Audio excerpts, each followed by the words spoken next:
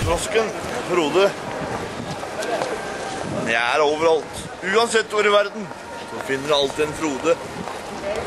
I'm the king of the world! Her er en annen stakkar som også har funnet ut at ja, jeg er vel kanskje bare et menneske. Utrolig nok. Lena Ирина, Света, Марина, Наташа, Аня, Оля, Таня, Инна, Олеся,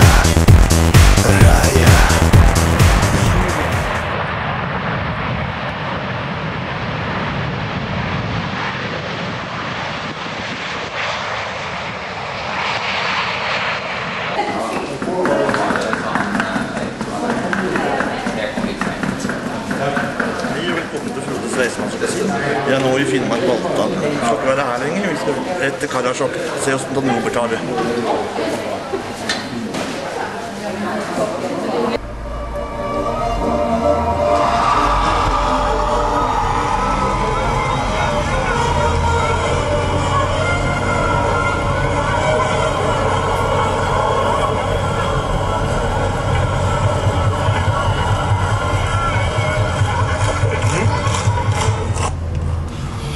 Nå er, nå er jeg på vei til Karasjok. Det er en avstand på ca. 25 mil. Og det tar ca. 2 12 timer å kjøre.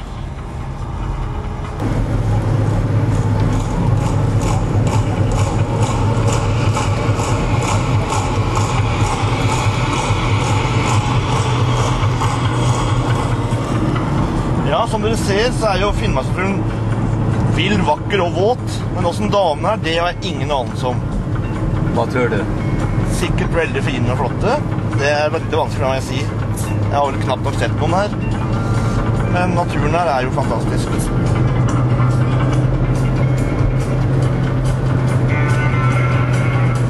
Jeg vet faktisk en del om damene i Finnmark, men eh, jeg tror ikke jeg orker å si noe. Det får være en hemmelighet.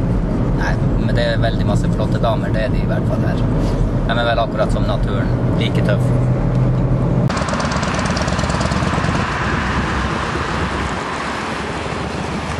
Ja, nå er vi en rundkring i Karasjok sentrum. Og det er ikke akkurat sydentemperatur her i bygda. Og her i bygda bor det ca. 2900 innbyggere. Tre skjenkesteder i bygda. Det vil si at det er ett skjenkested per 1000 innbyggere.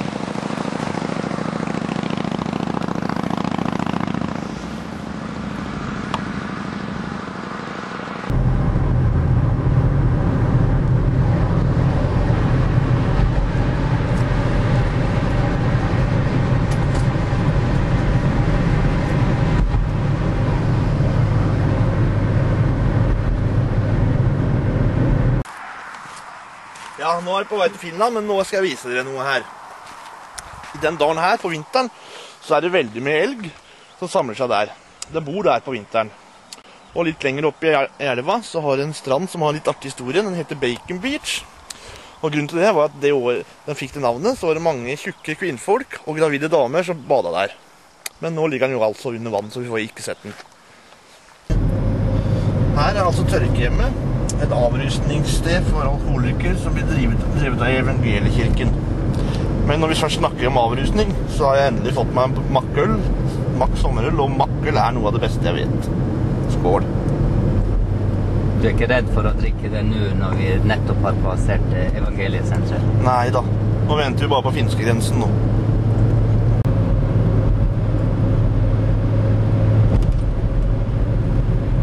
Velkommen til Finland. Da er vi altså i Karkasniemi. Og her skal vi da spise litt malt og kjøpe litt sigaretter. Ta og vis en eh, koffert. Sånn den. Nei. Det er en pølse.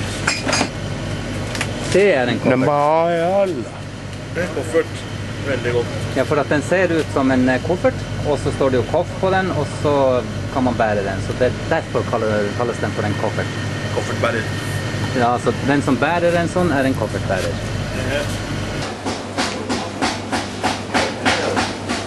Hvordan mat er det der? Det er pizza. Det er deilig. Tror du ikke det? Ja, De har veldig bra mat, og pizza også. Veldig bra pizza. Ja, jeg skal ha en pizza. Onko hyvä pizza täällä? Paras pizza. Ja, nå har vi fått det. Nå er det skikkelig Akkurat som sånn, himmelen har åpna alle sluser. For tiden har vi også da fått røykelov, så nå må vi bruke og ta med. Men i Russland der slipper vi det fortsatt. Vi skal jo reise på en lang reise. Hvis det regner katter og hunder i 13 dager, hva da? Det var et vanskelig spørsmål, men vi skal nok finne på noe. Vi skal jo annet sitte lenge innendørs på tog, blant annet. Og vi skal leie leilighet på toppen av Murmann. Så jeg tror vi skal klare oss. Men det blir jo litt kjipt å holde seg innendørs i to uker. Men hva er oddsen for å regnvær i to uker da? Her, eh, når det gjelder været, det fins ikke noe odds på vær. Ingen bettingselskaper tør å satse penger på sånt. Stemmer. Hva du syns om været? Været? Ja, det kunne vært temmelig mye bedre. Men, men. Hva kan man gjøre med det her? Det her. Nå, skål for været. Skål for været, ja. Så blir det være likevel det her.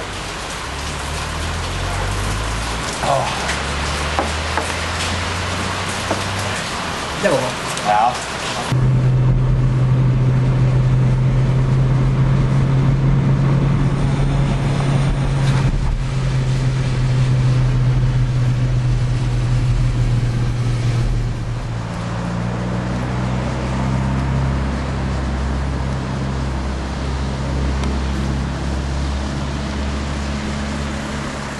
Ja, er på bibeltur. Det betyr jakt på samisk, men jeg vet ikke helt hva folk jakter på her. Hva tror du? Ja, jeg har mine mistanker. Fortell. Det er jo kvinnfolk, det. Kvinnfolk og alkohol. Hva du bestilte? En, en øl. Makkeløl. Ikke der. Er du like glad i makkølen som i sted? Ja. Bra, den. Ha? 52.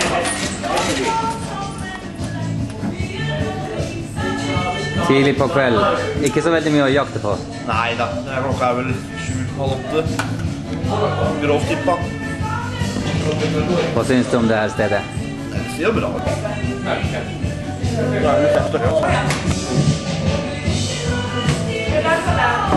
Ja,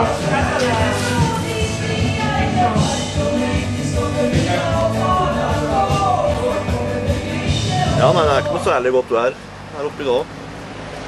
Bare det vant til dere reiser, så. Da kommer det. Ja. Men da jeg reiste hjemmefra, så var det jo faen ikke et sky på himmelen. Men det var kaldt. Jeg tror det var fem, fem eller fire fem varmegrader da jeg reiste hjemmefra. Hva du synes om eh, uterestauranten vår? Jo, jo. Det var sikkert jævlig bra hvis det hadde vært bra vær. En eh, Thomas. standard karasjok. Men vi er som bergensere. Vi er fornøyd bare det er en dag med sol, så Men ølet smaker for det. Det var nesten tomt, jo.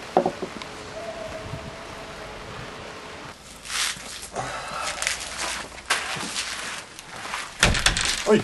Var det det her du snakka om i stad? Ja, jeg tror det. Ja. Det er et mannlig kjønnsorgan inni et kvinnelig kjønns- kjønnsorgan. Og det er laga den avdøde Ivel Jox, en lokal kunstner fra Karasjok. Ja, og det her er døra til museet. Vi skulle egentlig ha vært inne der, men eh, vi er så seint ute nå at uh, i dag får vi nok ikke filma her. Og nå er det vel snart kvelden i Karasjok. Ja, vi må jo ta oss og begynne å pakke til turen. Det må vi. Og en bæsj.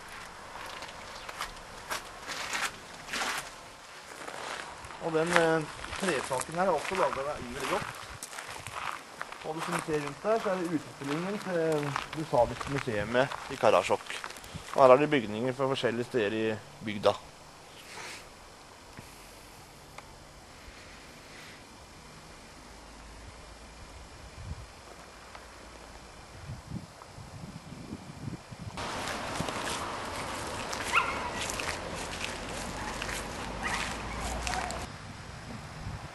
Ja, her har du da reinsdyr. Og det er ikke så veldig mye du ser av i Sør-Norge, men her oppe ser vi ofte det. Og nå kommer de faktisk mot oss også. Nysgjerrige er de, vet du. Når du ser de her reinsdyrene Jeg vet jo at eh, du liker å spise reinsdyr når du er i Murmansk. Får du lyst til å spise dem nå? Nei, kanskje ikke helt det heller. Men sånn er det jo. Det er jo mat.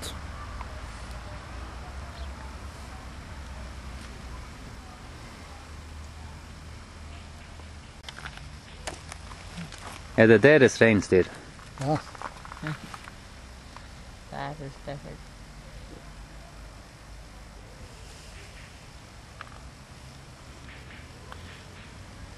Hva pleier turistene å si om de her reinsdyrene? Ja, de sier det var fint å se reinsdyr. Det var enkelte som har ikke sett det i det hele tatt, så den, den er spennende å se. Det er jo fine dyr. Ja,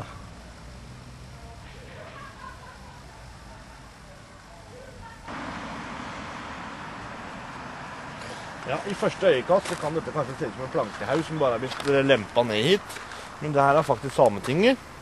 Det har 43 representanter fra hele landet. Og i utgangspunktet kan faktisk en fra Skien bli valgt inn der hvis han står i samemanntallet. Du er jo, Frode, i hvert fall når du er sammen med meg, ganske drikkfeldig. Er du same? Nei, Er du sikker på det? nei, det kan jeg aldri være sikker på. Hvem vet? Nei, men Så mye som du drikker. Ja, ja. ja, men jeg drikker bare litt, grann, jeg, da. Jeg er ikke noen stordrikker sånn. Jeg kan ta et glass innimellom.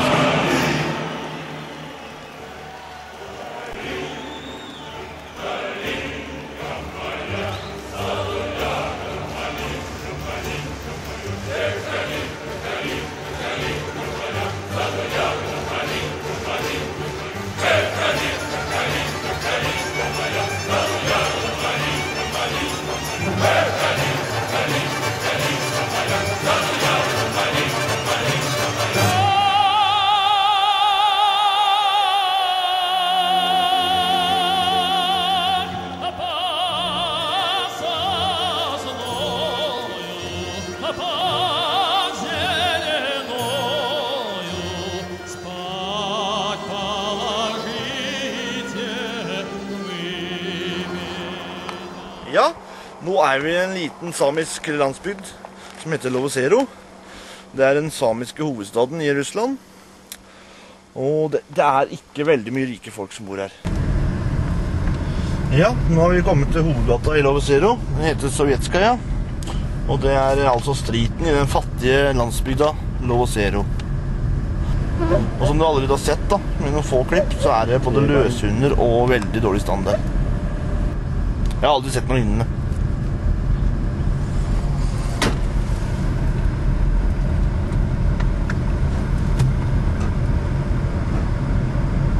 Привет, привет! А как дела? Нормально. Жить Э? можно. На, Зачем меня фотографируешь? на почему нет? Ты, ты директор. Ну и что? На? И э, я гость. Да, Да-да. да, да. Тогда с мальчиком меня. Это, это Фруде. Руда. Людмила. Ok. Очень приятно. Очень приятно.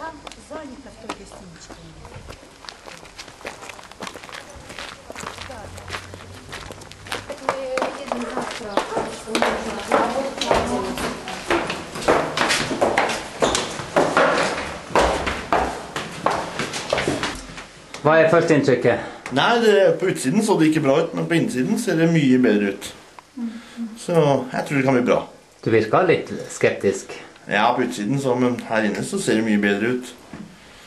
Natasha, what do you think about this place? It's terrible place. How do you do? This is uh, Sasha, and this is Sasha. I am. And this is not Sasha, this is Frode. How do you know? okay, so uh, what do you want to do?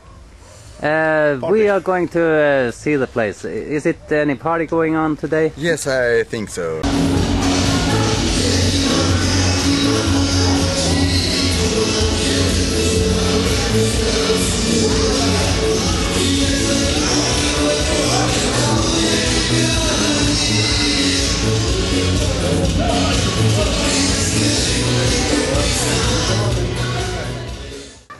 Tror egentlig Frode har fått et lite kultursjokk av eh, den timen vi har vært her til nå.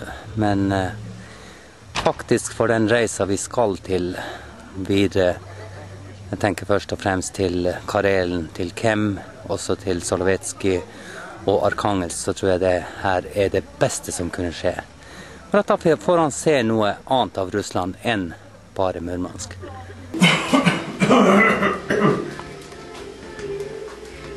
Ja, Frode. Hva du har å fortelle nå, da? Ja, det har vært en hard natt. Det er vel ingen tvil om. Jeg husker var på Cola Sami Radio. Satt der og drakk litt. Og etter det så tror jeg, jeg skal ikke si sikkert, så gikk vi på en klubb eller hva det enn var. Og hva som skjedde der, det kan jeg ikke si. Av naturlige årsaker. Jeg har iallfall kommet meg på rommet i går. I går I dag på morgenen, vil jeg heller si.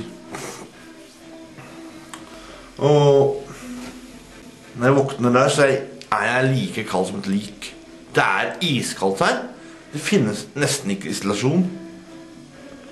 Jeg prøvde både å ligge under dyna, midt i dyna, i trekket, og nesten Jeg holdt på å legge meg under senga. It's very cold. Very, very cold. Eh, det var kaldt. Det var usannsynlig kaldt der.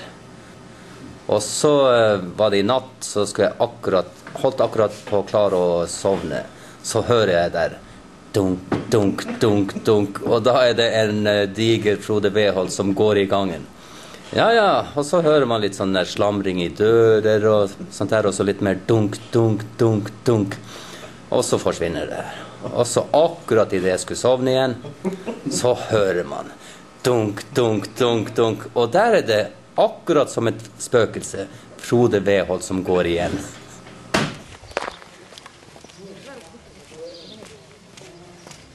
Ja, nå er vi i oss eneste butikk. Og den er åpen 24-7. Jeg skal selv ikke ha noe her, men jeg må, måtte jo se litt. Som du ser her, så er det jo alt. Men i en bygd så trenger vi også alt. Hva er ditt inntrykk av denne forretninga her? Det lukter rart her. Jeg, jeg vet ikke. Det er ikke det beste jeg har vært på. Det er heller ikke det verste. Ja, nå ser du lokalinnbyggerne her i Lovosero. Jeg vet ikke om det er komi eller om det er eh, samer. Men jeg syns iallfall synd på de stakkars damene. Det er ikke synd på dem, de har det bra. Det her eh, De skal på party. Men å gå sånn kledd, det Ja. Det må jo være en korrosjon ute og går. Hva er bedre med å gå rundt i sånn her T-skjorte og så olabukser? Jo, jeg er for mer vestlig kledd. Er ikke det synd på deg, da? Men kanskje de syns det. Ja, nå står vi utenfor hotell i Lovosero. Som du ser, så er det veldig spesielt bygg. Og det er det Samemisjonen som står for. De hjelper folk som trenger mat. Ikke, kanskje ikke penger, men eh, hva, de, hva enn de trenger. Før i tiden så var det et ordinært hotell, men nå er det en nordmann som driver det. Han er vel sørfra. Og han eh, kaller seg s- samemisjonær og businessmann.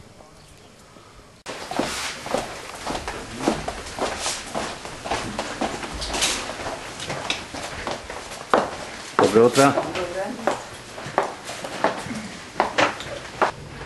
Ja, i går så kjørte vi da fra Murmansk, som du ser her.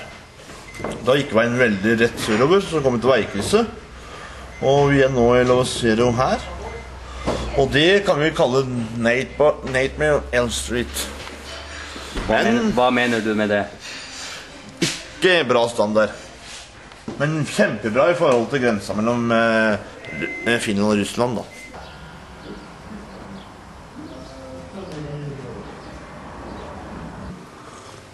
Actually, I have seen the uh, documentary from the trip to uh, Murmansk on this machine.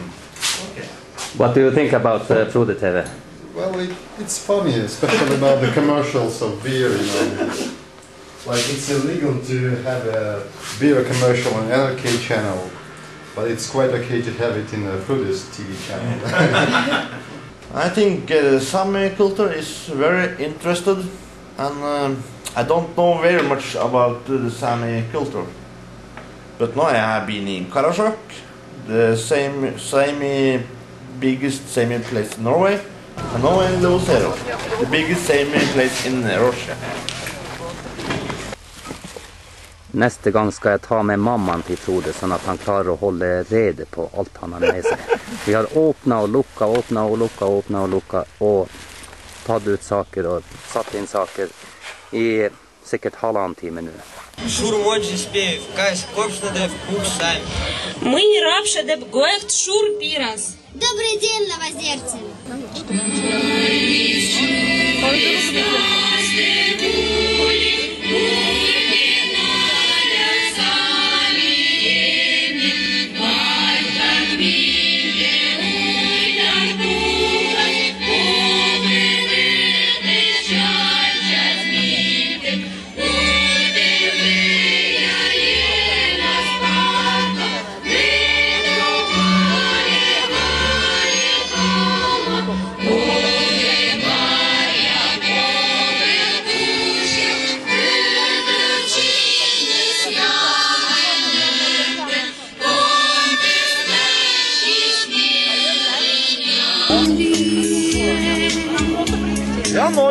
Kommet fram til festivalområdet. Eh, Den festivalen som er Lovesero. Og her vil, jeg det blir virkelig liv. Vi har gått nå en ja, ti minutters tid. Og det- som du ser allerede, så er det masse folk. Har du fått med deg alt nå? Ja Nei, jeg er ikke sikker. Jeg mener fra bilen. Ja, jeg skjønner. Men jeg har fått med meg det viktigste.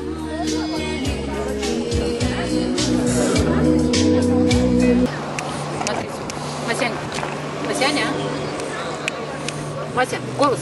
Масяня. Масяня, голос. Голос. Голос. Мася, не позорь. Голос. Молодец. Голос. Голос. Ап. Мася. Мася. Ап. Ап. Мася. Hei. Eh, hvordan, hvordan er det her i dag? Bare bra, ja. Du er flink til å snakke norsk. Nei, min norsk er dårlig norsk. Jo da, du er flink. Du, når du tenker på at du er russisk, og snakker godt norsk. norsk? Bra norsk. Ja. Nei, Jo, jo. Hvordan fest? Jeg syns du er god i norsk. Du har gått og hentet eh, tolv øl for meg. da er du god i norsk.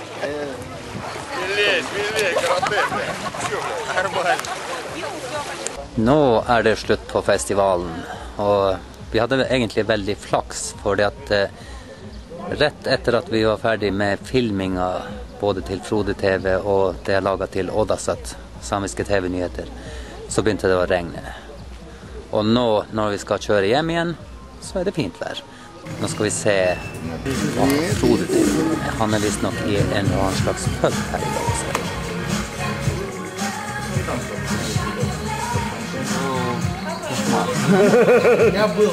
Veldig mye. Syns det er lite øl her? Er, det lite øl? Er Litt drown. Ja, nå har vi altså sittet her inne nå i fem, seks, sju timer. Eller egentlig siden morgens morgen. Og vi har vel drekt ja, tre, tre fulle bord. Og det er egentlig veldig hyggelig å sitte her. Det er faktisk en av de fineste barene jeg har i. Jeg kom jo hit faktisk rett ifra fra festivalen, og bussen stoppa utsida. Og Hva gjør du da? Jo, du går på en bar. Og det, der har det vært så morsomt å sitte og skravle med folk. Du ikke tror det.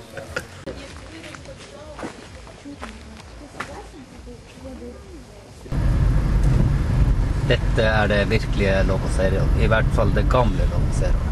Hva har du å si om det her? Eh, Jeg bare sier en ting. Bor det mennesker her? Skal vi bare og besøke noen, kanskje? Eh, Gjerne. Jeg vil gjerne sett hvordan det står på innsida av et sånt bygg. Når du ser hvordan det ser ut på utsida. Jeg tror vi står over denne gangen. Vi gjør det neste gang vi kommer hit. Ja, det kan vi godt gjøre. Når du ser åssen det egentlig ser Nei, jeg, jeg får grøsning, jeg. Jeg syns så synd på de menneskene som bor her. Jeg kan ikke si noe mer enn det. Ja, dere har jo fått en ny kamerat her, Frode. Hva dere syns om han? Uh, Frode er veldig grei. Jeg synes det. Fordi at uh, Han er bare Han er så menneskelig. Så derfor uh, Han er veldig grei. Hva syns du om Frode? Frode. Very good boy. Veldig bra. Hvis jeg skal si det som er bra menneskene. Fy fader. Nå har jeg bøtt både Sasha og Sasha. Og vi har nå sittet, som vi så i stad, i fem, seks, sju, åtte timer og festa på den eh, kroa. Og vi har hatt det så utrolig morsomt. Jeg må bare le. Jeg tenker på det. det er, vi har skravla og snakka om Norge og Russland og Finland. Whatever, altså. Vi har hatt det så gøy.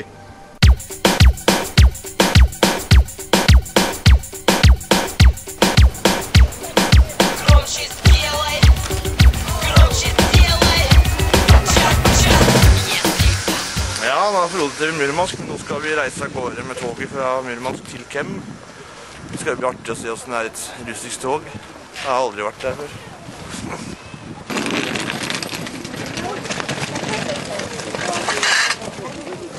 Vi skal iallfall ikke tørste på turen.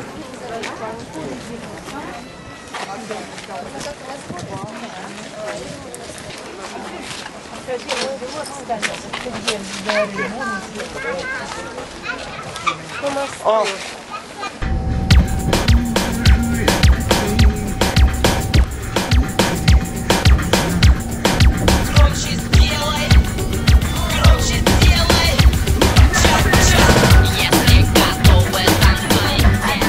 holdt på å drite oss igjen på, på leggen. Vi holdt på å ta feil, gå på feil tog. Det sykeste er at vi er de to siste som kommer ut av toget. Så før vi fikk satt oss ned, så hadde toget begynt å gå. Så vi rakk det med noen sånn få sekunder. Toget var allerede i bevegelse når vi kom oss hit til kupeen. Stemmer det. Det er jo sinnssvakt. Unnskyld.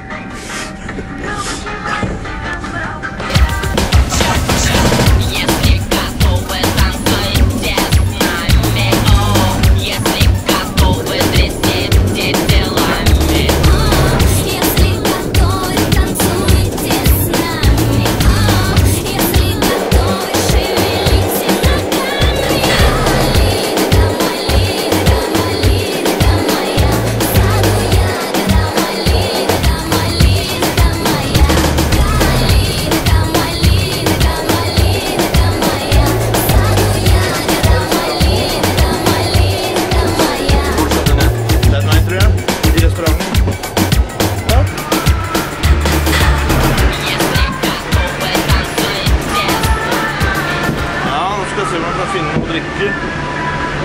Jeg vet ikke helt hva det skal være, men et eller annet finner jeg. Blir vel noe alkohol. Skal seg bort da.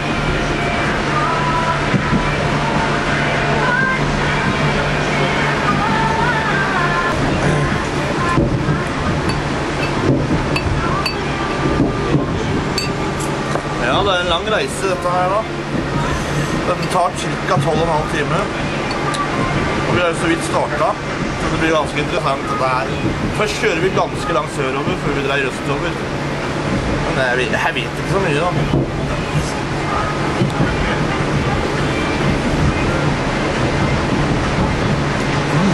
Veldig god. Oh, den var god.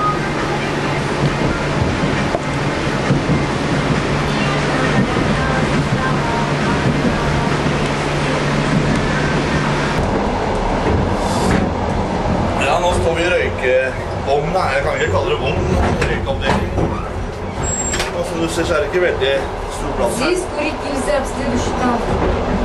Oh, Nå forteller hun at det her er ikke lov å røyke. ok. Og derfor var det aleine. Dama gjorde meg oppmerksom på at eh, der det er askebergere, det er der det er lov å røyke. Ja, det blir jo sosialt da, men det blir ikke noe særlig røykfullt. Можно делать.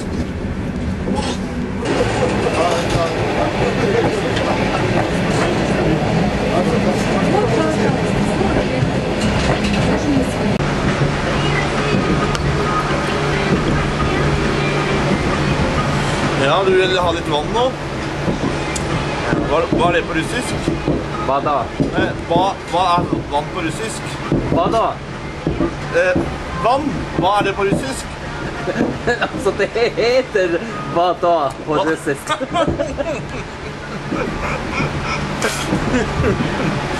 Oi, ok.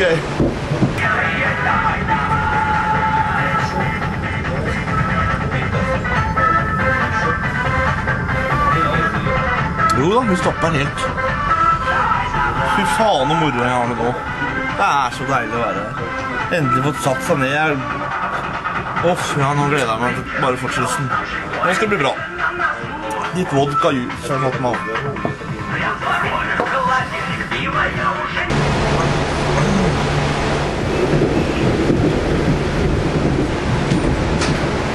Ja da.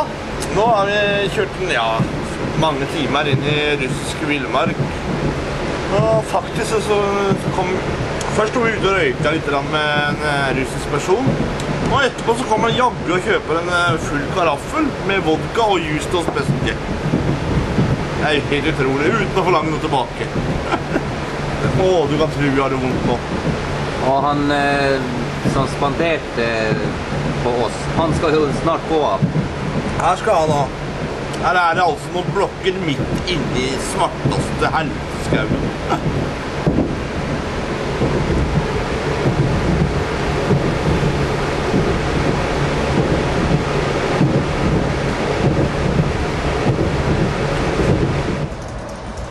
Ja. Det her er vel noe av det lengste jeg noen i mitt liv har sett. Nå ser du den, vi, den retningen vi kjører. Og hvis Dan Robert snur seg nå, så ser vi ikke enden på toget. Det er jo helt sinnssykt. Hvor mange Du tar et sånt tog? Det er helt rått. Å sitte på så langt tog. Det er vel Nei, jeg har ikke ord. Fortell om den her plassen her. Ja, vi er i Jeg vet ikke navnet på stedet. Eh, Du trenger ikke å si mer. Jeg vet ikke hvor det er engang.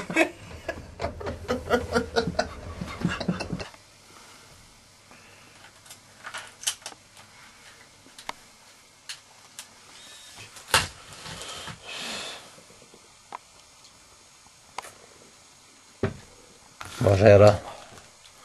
Nå er vi ca.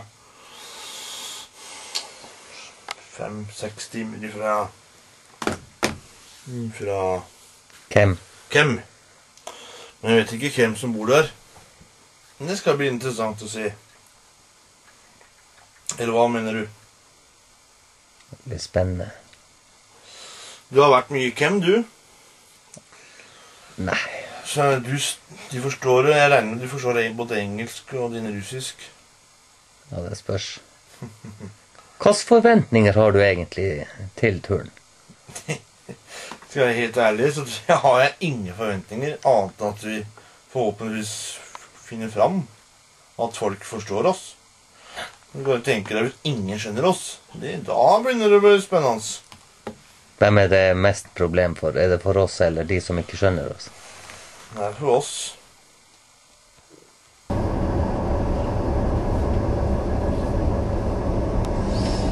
Ja, nå sitter vi faktisk på toget.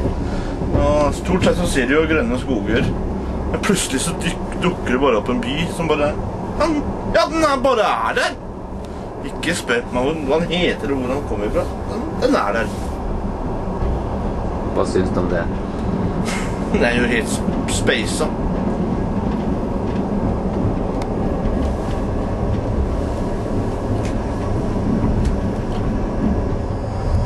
Klokka er nå kvart på fire om natta, og toget har kjørt og kjørt og kjørt og stoppet litt her og litt der i skogen. og Vi har eh, i underkant av to timer igjen, så er vi hjemme. Det skal bli deilig å komme seg til et hotell og få dusja litt og bli som folk igjen. Skål.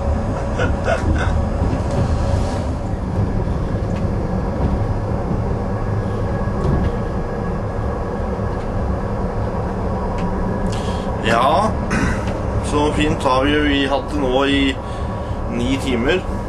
Og de siste to timene skulle vi også ha det like flott.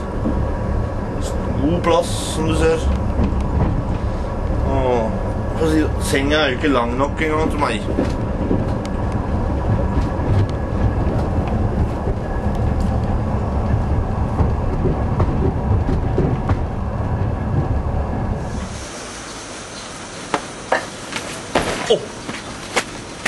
Hvem er du?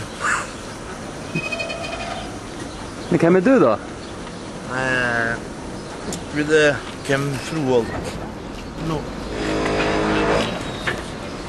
Velkommen til Kem. Det her er nå endestasjonen for vår togreise. Vi vet ikke hvor vi skal. I, altså i sentrumet her, men det må vi finne ut av. noe hotell, eller? Eller skal vi ta oss være sightseeing først? Откуда? Гостиница. Я, я не знаю. Deutsch? А? Deutsch? Э, Норвегия. С Норвегия.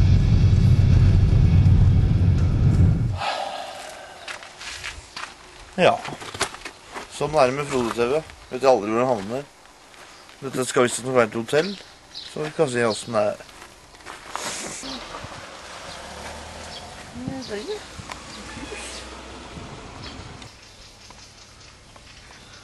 Ja. Nå har vi altså kjørt nesten 13 timer med tog. Og nå er vi altså kommet til Kem. Kem har hotell her. Jo da, vi har ikke noe ledig rom her. Så nå skal vi til Soveski.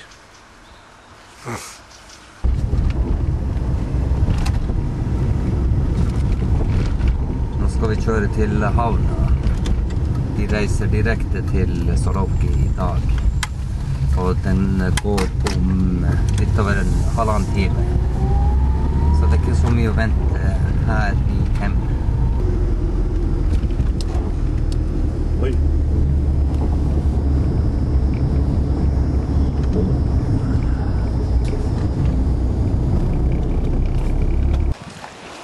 Ja, det er ikke akkurat en sydentur vi er på, men jeg gleder meg likevel. Det blir spennende å se hva som venter oss der borte i Solovetskij. Det er jo fint. Alle som har eh, fortalt noe om det, sier at det er utrolig fint.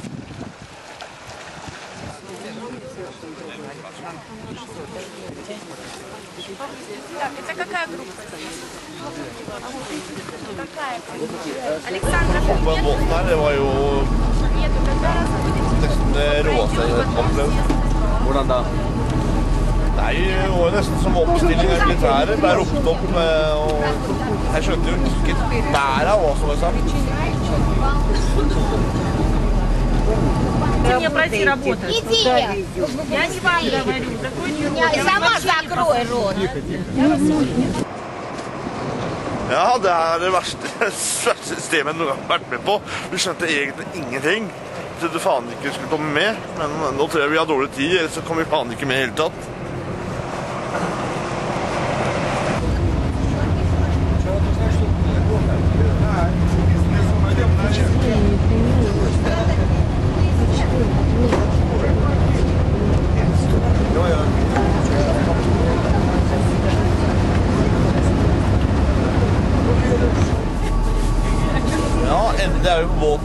Er vei til Slovakia.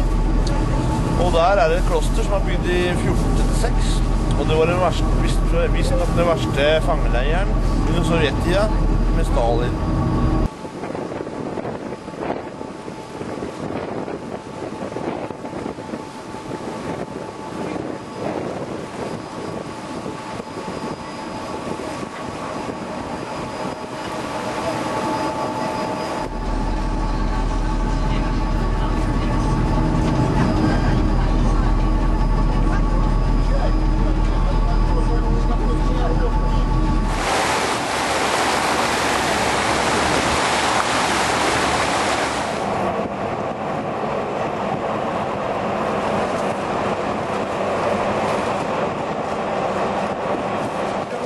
Здравствуйте. Великий магазин возрастного комбината. Уникальная продукция. Ja, nå har det gått 20, 20 minutter, nesten en halvtime. Vi er ute i sprutregn i gjørma. Og jeg har bare sett noen trebygninger, men vi skal se om vi kan finne et hotell. Dette er jo et hotell, men eh, får vi rom?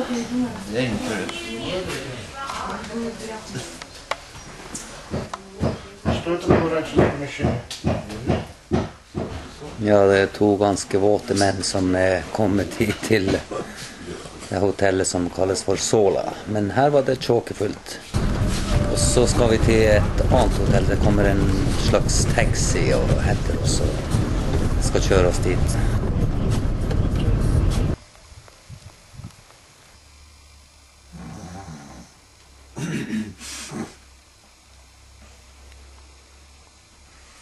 Ja, nå har vi klart det store. Vi har jaggu fått oss rom her på Sovetski. Etter en sånn 15-16 timers reisetid. Vi begynte i går klokka sju, og nå er det snart tolv dagen etterpå.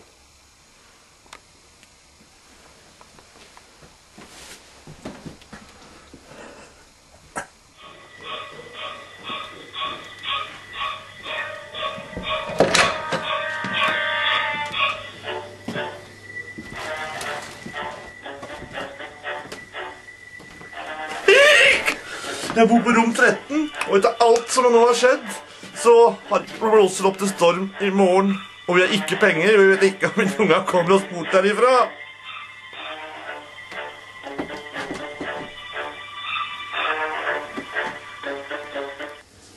For å forklare det Frode her fortalte, så er, jo, er vi blitt eh, værfast her på Solovki. Regner med at eh, i hvert fall de, neste to døgnene så er vi her. Det venter en storm, og alt av fly og båttrafikk det er kansellert. Og så er det det at eh, til sammen så har jeg og Frode nå ja, toppen 1500 norske kroner. Altså 4500, nei 5500 eh, russiske rubler. Og det skal vi klare oss med, og også betale hotell, for at her tar de ikke kredittkort og sånt. Det blir spennende. Ja, nå har situasjonen forandra seg utrolig. Nå kan vi komme oss med den siste båten som går før stormen kommer. Hvis ikke til lenger vi blir det, til mindre penger. Til slutt vil andre komme herifra. Der. Og hun der, hun har hjulpet oss utrolig. Den eneste som snakker engelsk på øya. Ja, ja, frem og tilbake er like langt.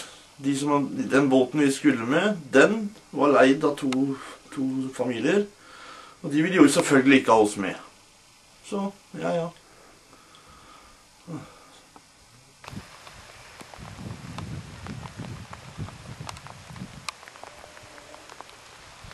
Ja, ja, da blir det allikevel en tur til klosteret. Og det gleder jeg meg til nå.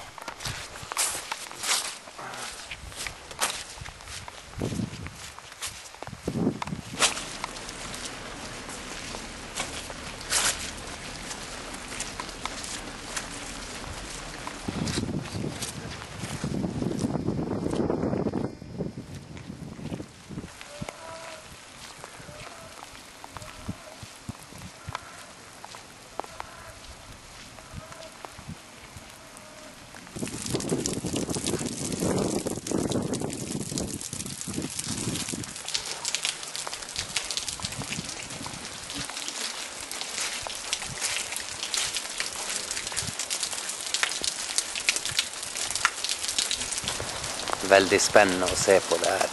Det jo, man ser at det er urgammelt. Klart det kunne jo ha hatt litt bedre vedlikehold da, men de har vel ikke akkurat veldig masse midler til sånt. Nei, det her oser av historie.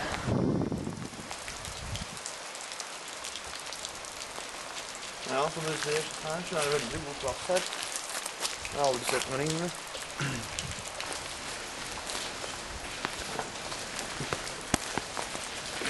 Ja, de har jo tydeligvis begynt med restaurering her.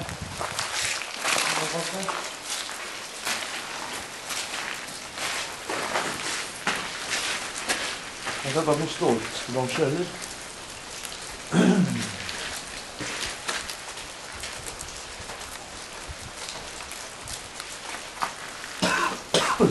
Syns du at det trengs restaurering her? Å ja, helt klart.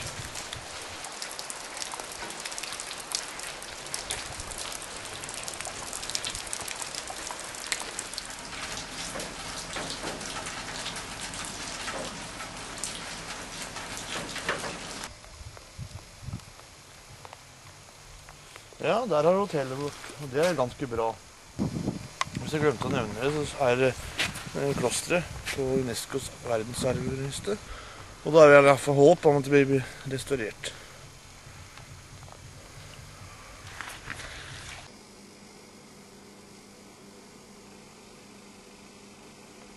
Ja, situasjonen er fortsatt litt fastlåst. Men det, det går en båt halv seks i kveld. Men i går så var det også en båt som måtte snu. Men Vi vet ikke hvor mange hundre tusen som gjerne vil forlate den øya i, i full fart. Det er spennende å se. Ja, nå er vi på vei til kanskje å finne en løsning. Det redningsengen Marsha som jobber på hotellet. Har fortalt at dere muligens går an å ta ut noen penger borte på postoffisen. Og det er som du ser, regner det drittungt her fortsatt.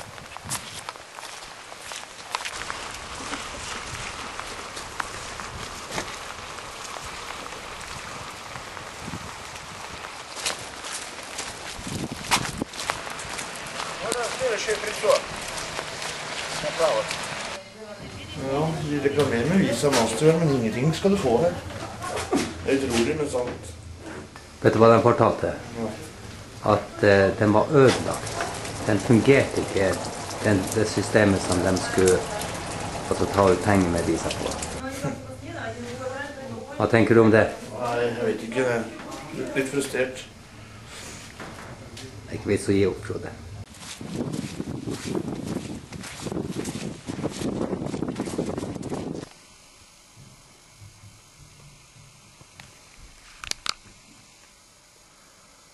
Ja, nå har gått en ny time. Nå har utviklet seg nok en gang her. Nå skal jeg muligens få lov å være med en lastebåt til Arkangelsk for 4000 rubel, og den skal gå om to og en halv time. Takket være vår reddende engel, Marsha. Hva syns du om henne? Ja, hadde alle vært som henne, så tror jeg ikke det vært mye krig i verden.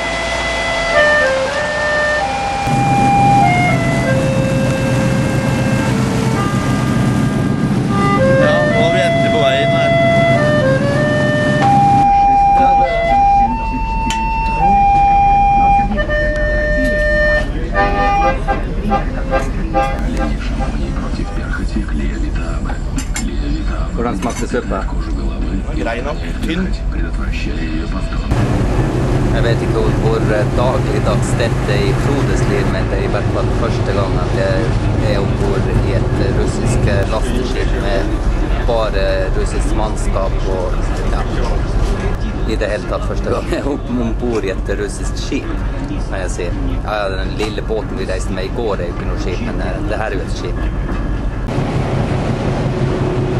Ja, nå så vi akkurat en ser i havet her, men dessverre var det en Robert for treig i ræva til å få det med seg. Det var moro. Ble du redd? Ja.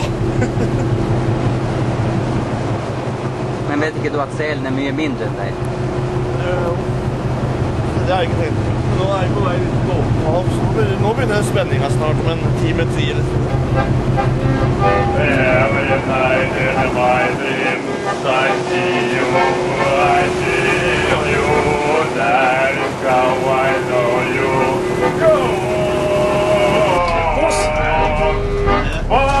Тоже должен быть так же, так же здесь. Вот, вот, вот. kursen.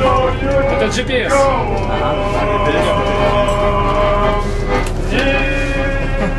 Her har vi fått en ny styrmann. Ja. Begynn. Серьезный вид он такой. Hvordan føles det å være styrmann? Litt skjermen, men det går bra.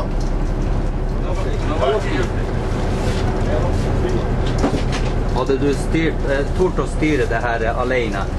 Электронная карта. Надо карт. Вот мы. Вот наш путь. Вправо пошел. Надо влево. Nå hadde det kommet fram neste år. vi.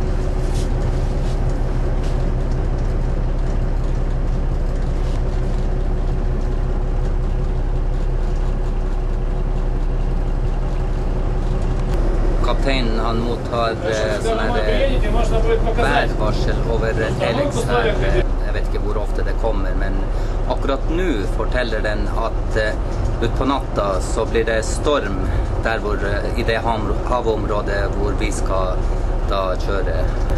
Så det blir jo litt spennende å se. Og så Det er ikke veldig fi- fint vær i vente nå.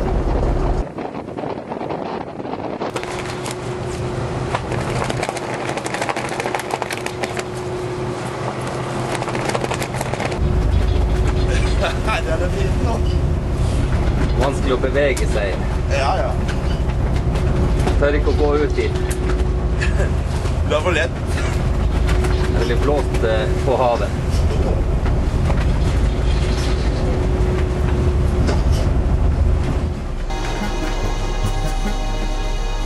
Sailing home across the ocean. Sailing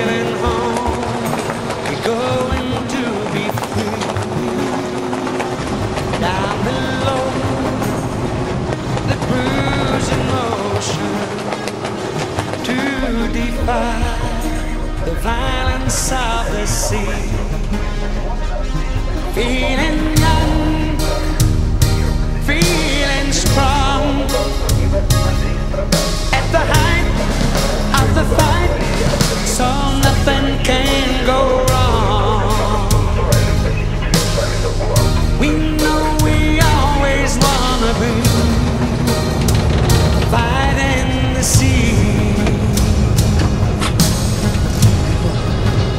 Det der ute?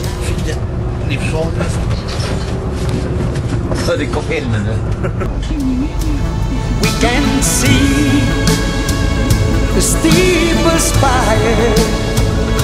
And now we know we won the fight once more. Feeling young and feeling strong.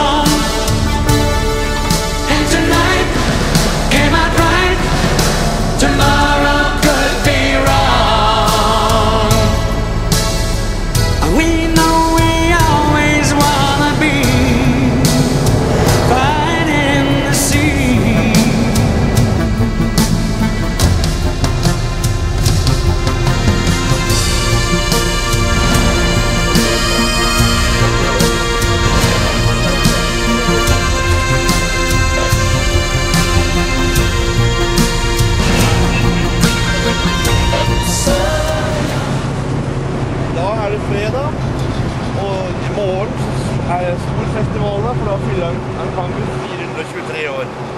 Det skal vi feire. Gleder du deg? Ja.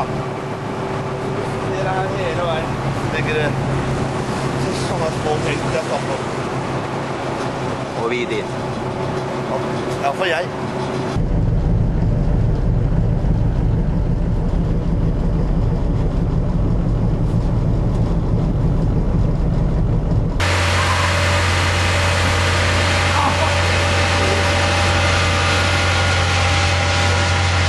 Den smellvakre byen Arkangelsk. Her kan dere nyte freden og roen.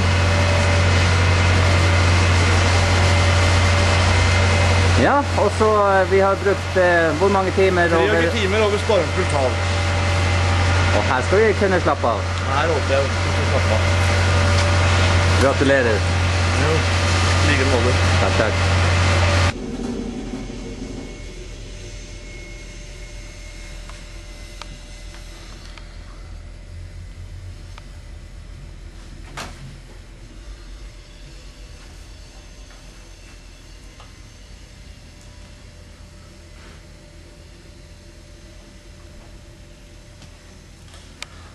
Ja, dette var rommet til Dan Robert.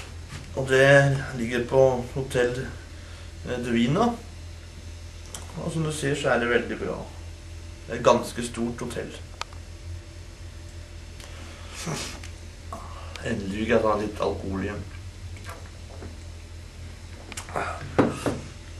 Situasjonen de to siste døgna har jo vært sånn at eh, jeg må måtte holde meg edru.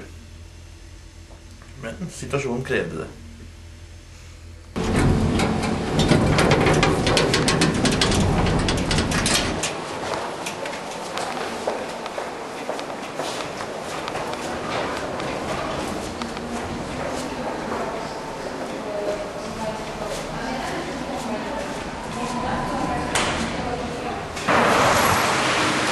Her i Kangers bor det 360 000 innbyggere, og byen er så Russland til nøtteskall. Her fins fine og stygge bygninger.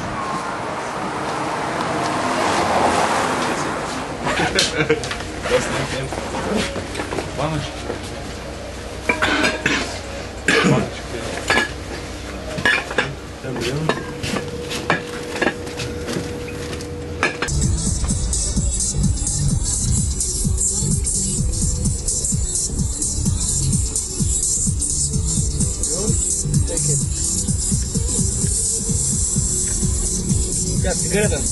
Окей. Сигаретой. На здоровье. Grina. Det var, där vi kom, det var där vi kom med båten. Gick akkurat genom skogen där.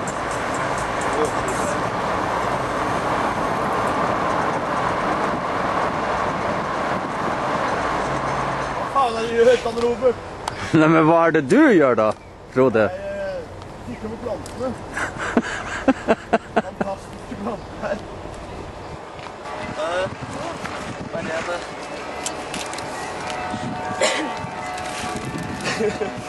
Как э, имя?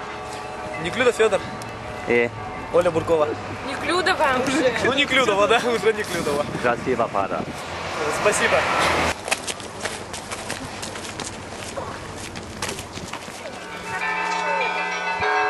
Klokkespill.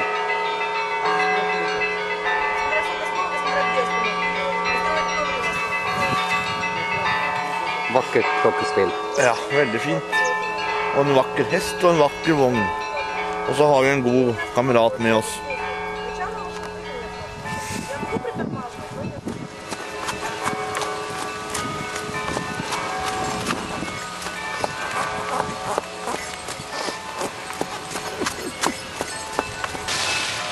На здоровье!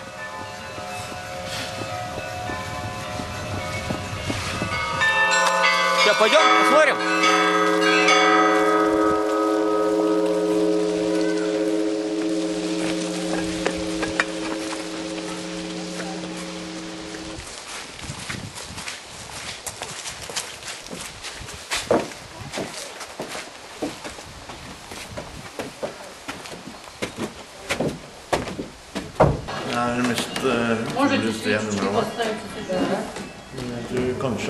Lignende igjen.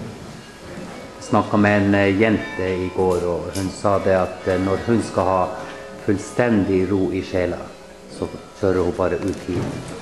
Og det får hun her. Det kan jeg godt forstå.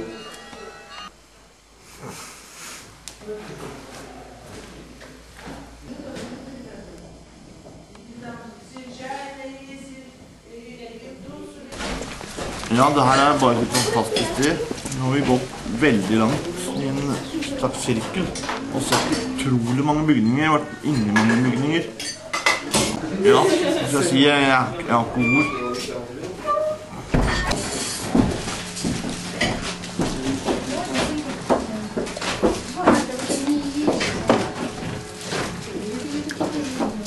Спасибо.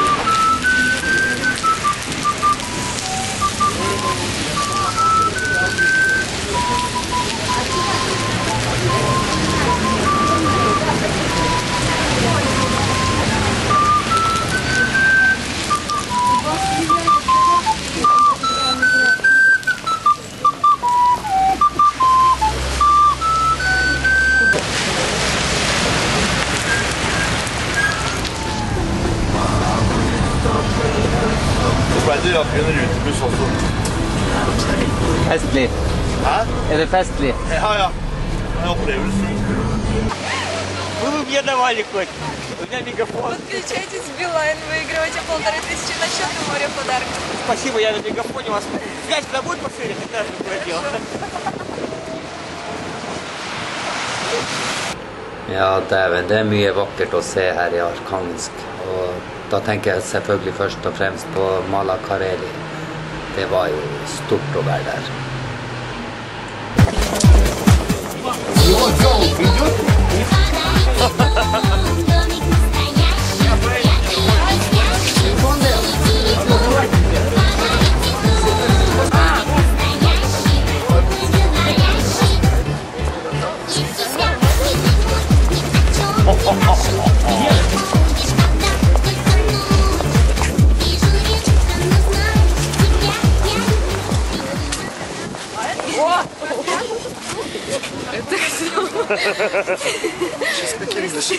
Я говорю по-английски.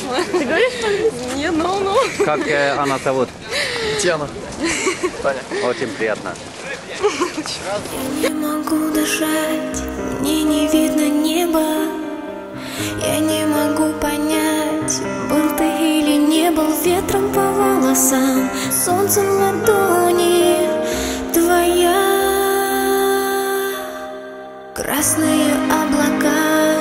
Вечер ударил в спину, я с тобой так легка, я с тобой красива.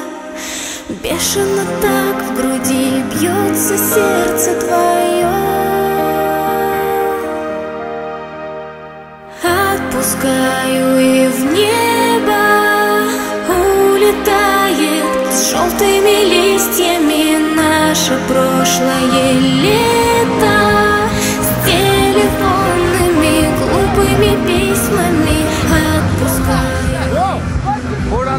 det ser ut her i morgen? Som et helvete på jord. Du ser opp på det allerede nå. Er det vakkert? Nydelig.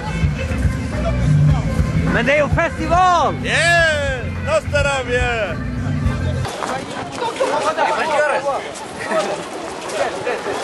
Почему, почему э, жел- желтый флаг? Почему? Не знаю почему. В Архангельске справедливость. Водник, водник.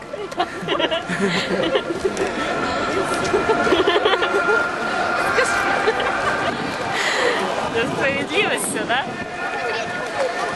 Смотри. Девушки, не пугайтесь.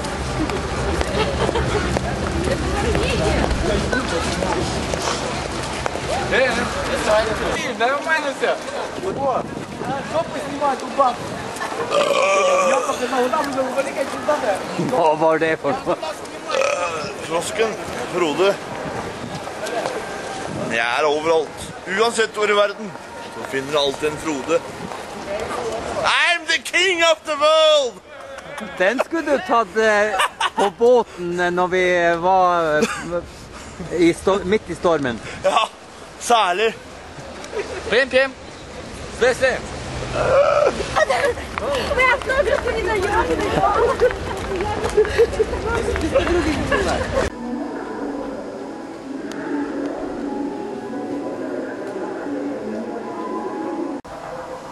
Her er en annen stakkar som også har funnet ut at ja, jeg er vel kanskje bare et menneske. Utrolig nok.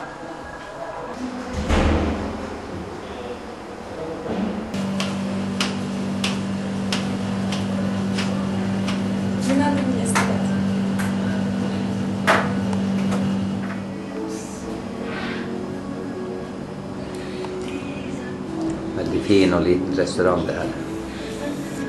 Ja. Men uh, Frode, han ser ikke veldig keen ut i dag. Jeg er verdens kjekkeste mann. Ikke sitte her og kødd.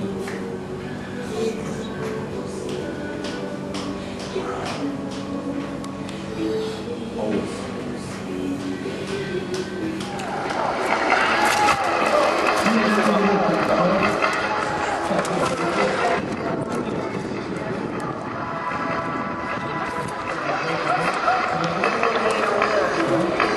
hipp hurra. Nå er det søndag morgen. Astravje.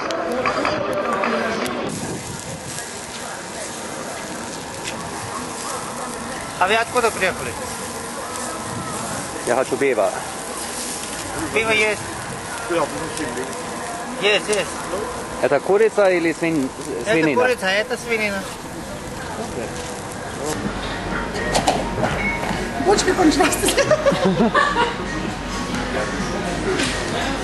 Nett, nettopp åpna krana. Eller satt inn en ny.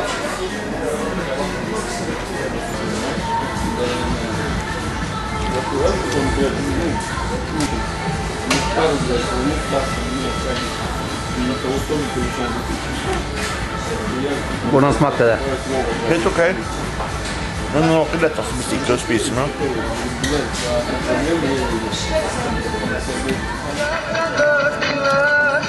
Hvor er det den eh, lyden kommer av? Nå må du se hva logger deg på. Ser du ikke høyttaleren står der? Det er jo sånn i hele gata her. Faen ikke lagt merke til det. Du må, du må ha nettverksproblemer.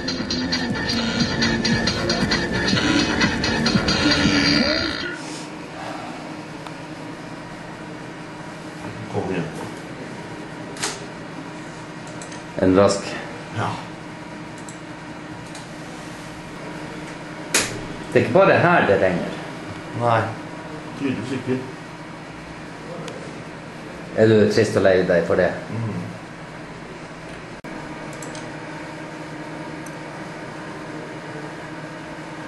Snam? Hvor er hun fra? Nei, ikke for Skien. Ja, hun spurte om det var fint og varmt her, og jeg svarer da enkelt og greit. Vi bruker da PC-en på hotellet, og det er ca. pluss 7 celsius. Knallvarmt. Ja, og det er en 24. juni.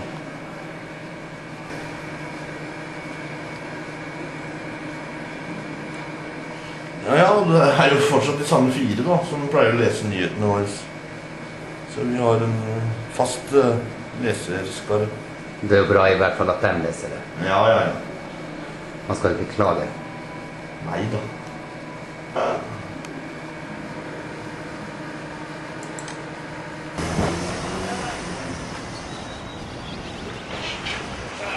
Nå skal vi forlate Kankus, og tror du ikke det er fint vær? Hva syns du om det? Det er bra at det er fint vær, da. Kanskje det er fint vær dit vi kommer? Nei, kan kan aldri tenke på.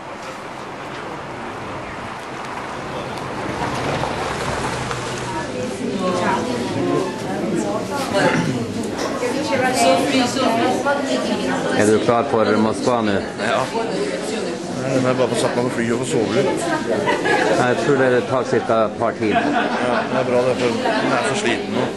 Du ser veldig sliten Jeg er veldig sliten.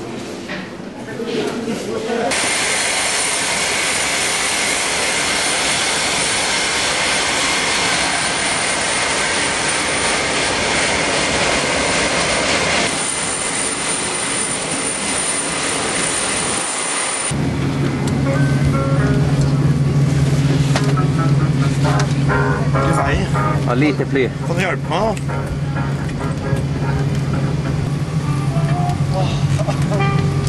Det var de der du ikke skjønte på. Nei, Det ser ut som en A. Det der ser nøyaktig ut som en D. En russisk D. Sa du ikke det med en gang da?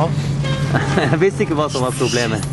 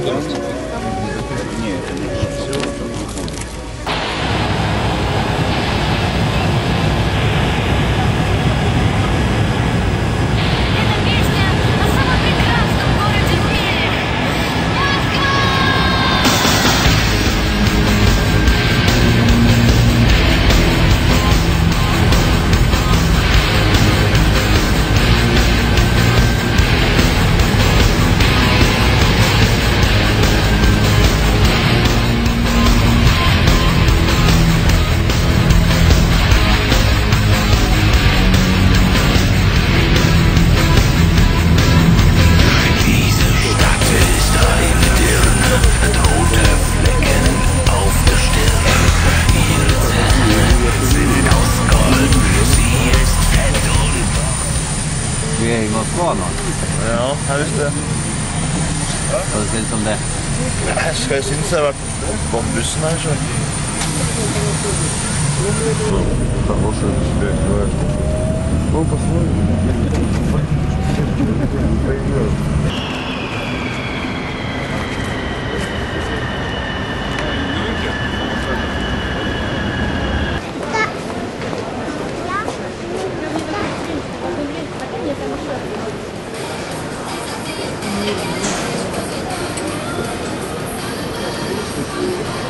Ja, så har det skjedd igjen. Nå er vi lost i Moskva. Det er alltid spennende å reise med Larsen. Men eh, vi kommer oss eh, til eh, Murmansk på kvelden. Ja. Tolv timer etter at vi egentlig skulle ha reist. Ja, det er ett fett egentlig, for meg. Nå var du litt redd at vi ikke fikk ordna med billetten. Men vi får stole på at det er i orden.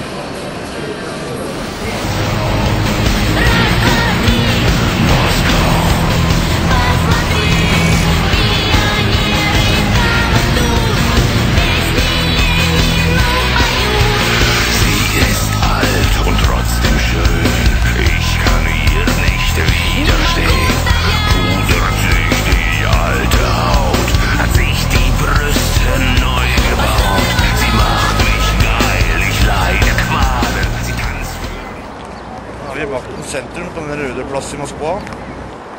Bak her har vi Dakhjem.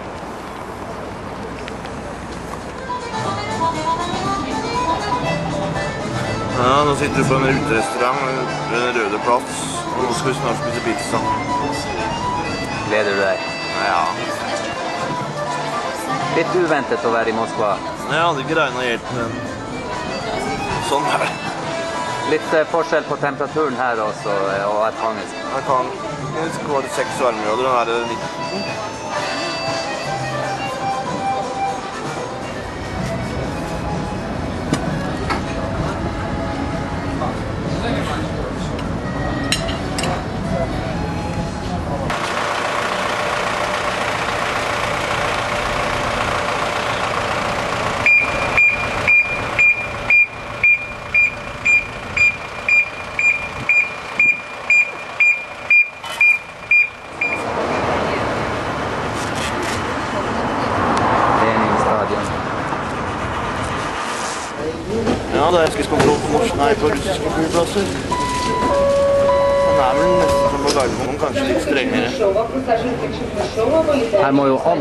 seg skoene.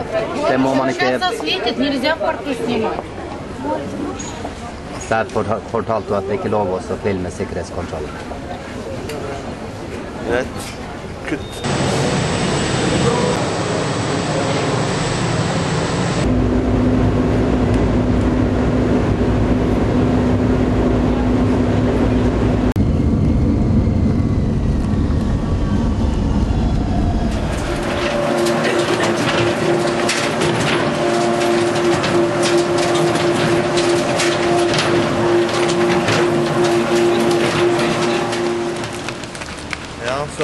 Igjen fra utgangspunktet i Russland, Murmansk.